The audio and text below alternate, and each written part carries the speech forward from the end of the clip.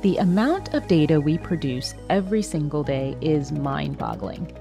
Your health records, financial transactions, and yes, even those cat videos. It all adds up to 2.5 quintillion bytes of data created each day.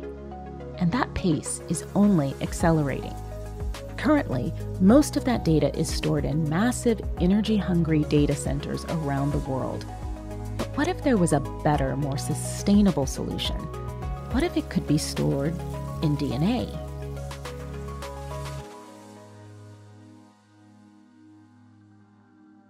Here's the issue. As the data we create grows exponentially each day, we are already starting to create more data than we can create data storage for, which is leading to a data storage crisis. How bad is it?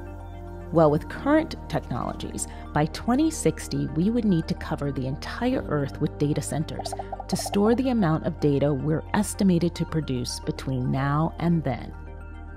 And these data centers consume a ton of energy. By 2025, they're estimated to consume one fifth of our global energy production. So we need to figure out a way to store more data in less space with vastly less energy, and soon. And that's where DNA comes in. DNA is essentially nature's hard drive. After all, everything about your physical self is naturally stored as data in DNA. So, why couldn't you store that cat video in DNA? Well, it turns out that this is no longer just a theoretical idea. Researchers are actually already storing digital files in synthetic, non living DNA. Basically, it's a matter of translating the ones and zeros of your traditional hard drive into the A's, G's, C's, and T's that make up the DNA code, and then printing that new code into synthetic DNA strands. Same information, different format, but with some big advantages. DNA data storage is incredibly tiny. With DNA, you could fit the data from hundreds of today's data centers into the space the size of a sugar cube. And it's also incredibly durable and energy efficient, lasting thousands of years with minimal energy consumption. And it's future proof. It would be really hard to access an old floppy disk from your smartphone today.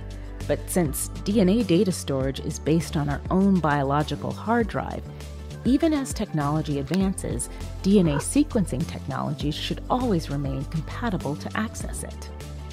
Researchers are rapidly advancing their work on DNA data storage. In the next few years, we will begin seeing it used for long term archival data storage. And in the future, it's possible that your smartphone could even feature a DNA storage drive. All of civilization's data in your pocket? Sounds like a pretty catchy ad slogan. This content is based on the I Am Bio podcast, episode number 71, called Data Storage Crisis DNA to the Rescue, featuring interviews with Kyle Tomek, co founder and CEO of DNAli Data Technologies, Emily Leproust, co founder and CEO of Twist Bioscience, and Jeff Nivala, research assistant professor, Allen School of Computer Science and Engineering at the University of Washington. To learn more about DNA data storage, listen to the full podcast episode and subscribe to I Am Bio wherever you get your podcasts.